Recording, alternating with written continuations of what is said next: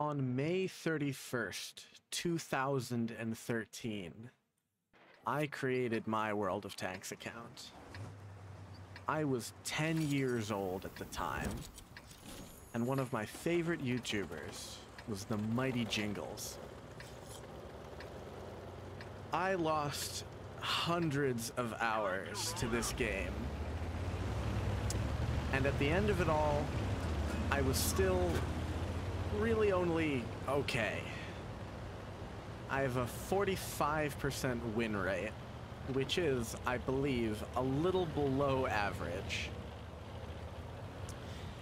And before now, the last time that I had logged in was apparently 2021. So, we're gonna see how this goes. This is not quite my first match back. Uh, I did a couple low tier battles to really remember how the controls work. Um, but we are here in a Super Hellcat, uh, which is a reward tank destroyer. Uh, it's tier 7, which is about uh, two or three tiers higher than I should be playing. My skill ceiling capped out somewhere around tier 4. But uh, the gun goes boom, and it does a lot of damage when I hit things. So, you know, there's that. I... What map even is this? Sand River, apparently. Um, I recognize it from when I play it. I'm almost certain that I'm going to get no hits on anybody and then die, but I mean, you know. It should be very familiar to anybody who's ever played Arma with me. Something I appear to have forgotten is that at some point in the last, I don't know, decade, they changed Sand River. I don't remember that gorge ever being quite as impressive of a fortification than uh, it is right now, which means I am in the wrong spot entirely.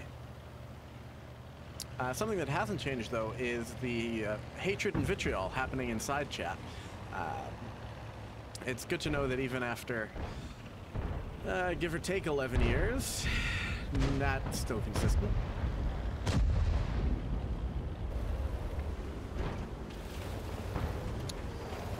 The question now is, what do I do? Uh, given that our only friendly heavy tank in this area is currently getting...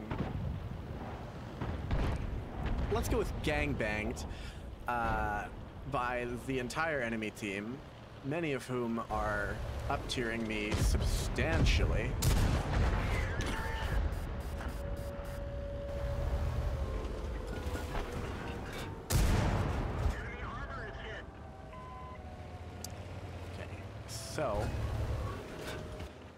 We're gonna hope to pin this thing in place so that our artillery can kill it.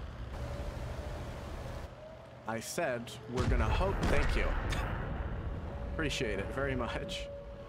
All right, they're capping the base. That is not a tier seven tank destroyer's problem.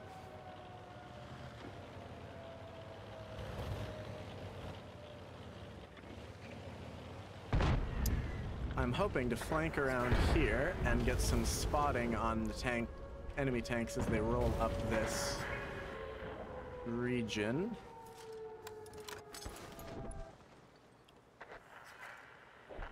Considering all of our other heavies went to the northeastern corner, it should not be difficult for them to push down the right side of the map. Let's see, is this a worth a shot worth taking? No. And I know I used to play the Super Hellcat a lot, so in theory I should know a lot about it. Um, unfortunately, I don't even remember what skills I currently have trained up on the damn thing, so I think I have Sixth Sense. I did also see something about them changing how that worked.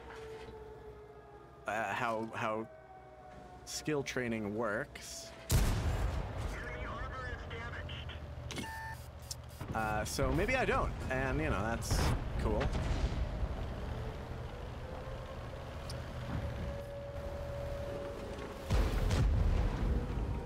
Come on, surely I have a penetrating shot. Oh my god, I killed an IS-3. I can die happy. I'm also probably about to get hit by artillery if they're watching this region, let's just do some wiggles. Nope, they're watching a different spot. Not my problem.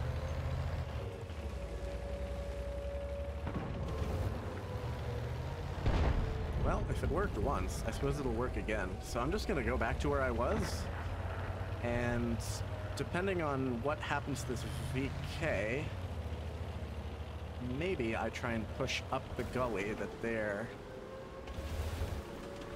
What are you behind? Are you behind a house? You do appear to be behind a house. Oh, brother, don't peek up your head there. Which way are you facing? My way? Yeah. I'm gonna draw his attention and hope that the SU-130 will sort of push him. Uh, that is potentially a flaw, flawed plan. Oh, his gun's turning. Okay.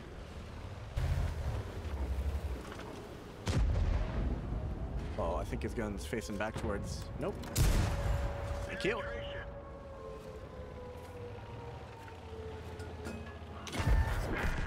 Yeah, I know I was spotted. Thank you. I shot him in the side of the head. I better have been spotted. Okay. Uh, I don't remember what's in the cap circle. Oh, got Aaron a super Hellcat. That's no good. Pretty good gun depression on this thing. Not good enough for that. Okay, now we move.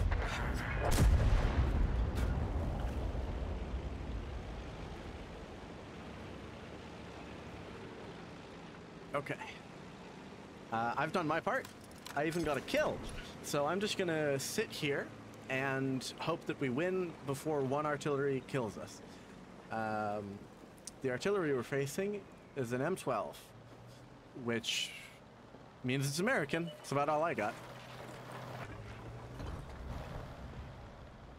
Well, now it's dead. All right, that went well.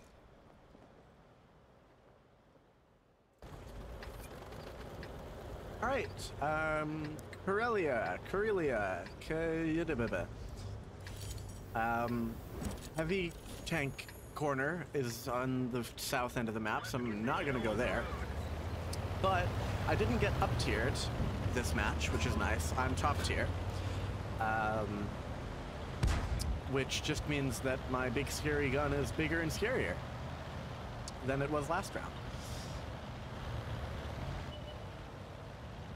I don't really remember how you're supposed to play tank destroyers. I remember a little bit of the mechanics, like how spotting works and whatever, but um, I don't really remember much else.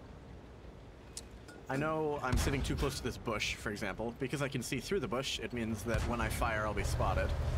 Um, I wasn't, of course, because the Super Chaffee was about a postcode away. But otherwise, uh, I know if your tank has armor, which mine doesn't, you could side scrape and angle your armor to, to block hits. Um, but the Super Hellcat, as you can see, uh, has no roof, which sort of that design language carries through. That design language carries through the rest of the machine, and it is uh, paper mache, essentially. You can throw rocks at this thing and you your crew will die. Um, which isn't incredible. I would also love it if that Chaffee could move up so they could see stuff like that happening before it does. Alas. Oh, brother. Never mind, the Chaffee just got kerploded. Good. Oh, by a Super Chaffee, I think. Nope, by a Cheeto SP, that's good. So I'll have to deal with that later. Unless I die, in which case I don't have to deal with anything. So it's like being in bomb defusal. Did I shoot the rock? Yes. Don't question my methods.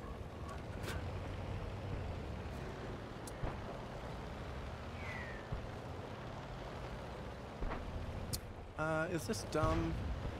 What I'm about to do? Probably. Oh, yep, definitely. Nope, now that I've seen our only alive heavy is over there. That's dumb. Not doing that. Because this ELC, I suspect, is going to think to do a little bit of dramatic flanking action. Which is wise, uh, except for the two tank destroyers watching it. I have shots there, kind of. Okay, I'm, I'm a little too far forward for my blood. As much as the Super Hellcat is incredibly maneuverable and nippy, there are limits to exactly how much I want to test that nippiness in running away from tank shells.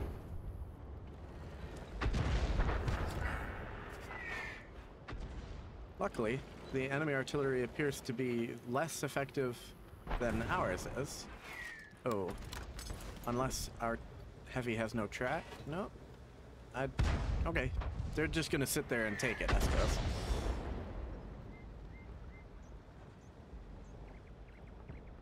I'll admit, I feel kind of secondary to what's going on in this match.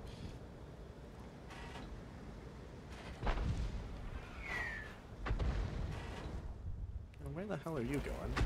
How are you gonna get there? The Type 64 being very brave indeed. I, I own an AMX CLC, so I know that it has an autoloader. Never gonna hit, obviously, but you know. I can believe. A heavy tank getting into a circling match. One? Really? Okay, we're leaving. Okay, we're gonna we're gonna wiggle around here for a moment. And old superstition: if you park in the artillery's uh, shell hole, they won't try and shell you again. Player psychology. What kind of idiot would go park in the hole? Ignore that explosion. That means nothing. Okay, I see one, two, three enemy tanks that we, that us have, uh, wow, brain. I see three enemy tanks that we have seen as players, which means there's four more, yeah, four more.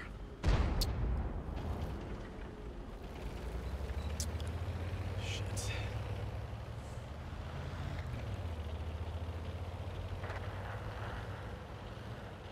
Which way are you looking? Not the right way, but there's another, there's at least one other friendly looking. Also that. There's also that is happening. Uh, I'm gonna wait for the medium to come up and do things. I'm just gonna sit here and hope I'm in defilade to artillery. And if this guy turns to fight the medium... Well, if you just fired, I think it would be rude. Ow. That's a rock, and now I know where one of the artilleries are, so that's cool. Uh, oh, the only artillery. He's over there. Okay, so to be in defilade, I'm going to be over here. And I hope I'm close enough that the firing arc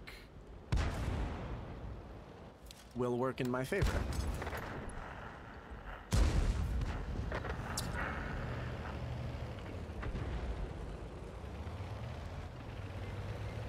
I suppose. Oh, really? There it is. Damn.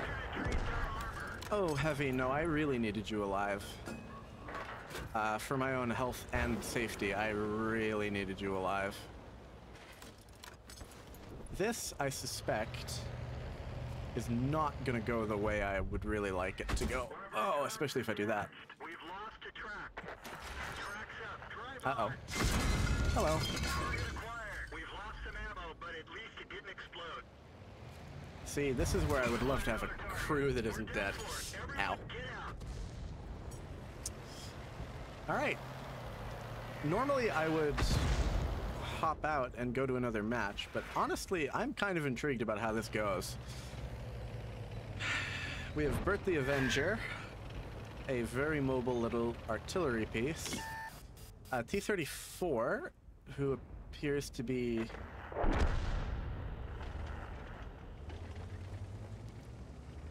Uh, jury's out on the T-34. And uh, uh, which, if memory...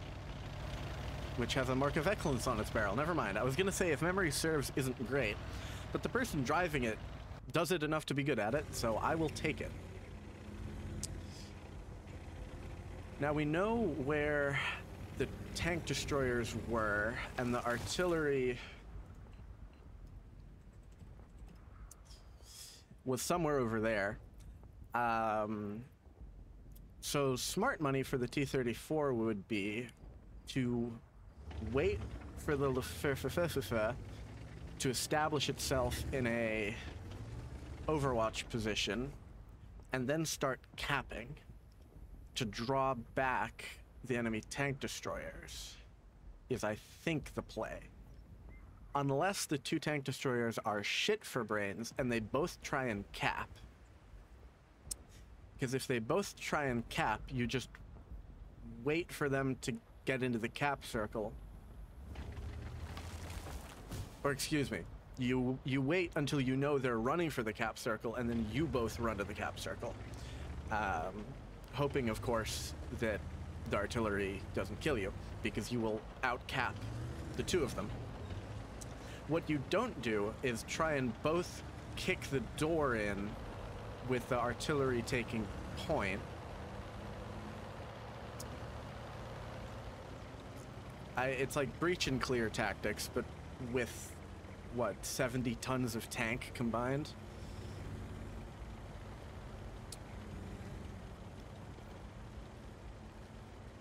Now the artillery has had the T-34 in a blind spot for most of the match because it's been on the other side of that ridgeline mountain thing over there. So it may or may not know what the T-34 is at in terms of, oh my god. At least one of the tank destroyers are dumb as bricks.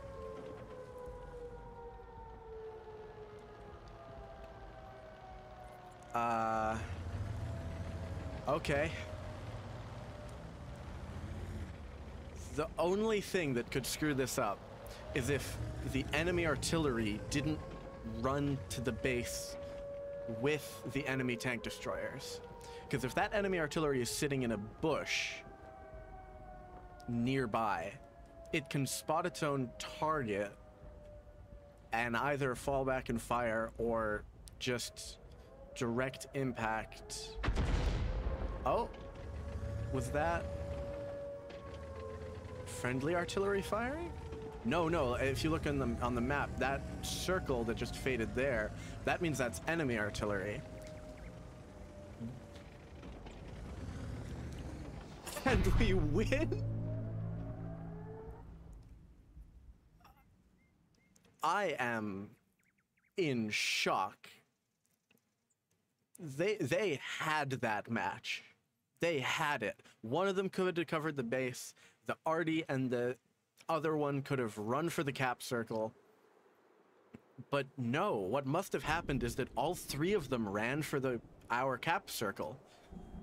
And because they're one of them at least was a super slow tank destroyer, it couldn't get back. Artillery is never known for being fast and the other one maybe didn't get back in time or didn't even get to the cap circle. So I am truly astounded. Thank you for joining me in this uh, this sort of reliving of my childhood with World of Tanks. Uh, I am supposed to be in class tomorrow, so I should probably go to bed. Uh, I don't have an outro because I'm not a YouTuber.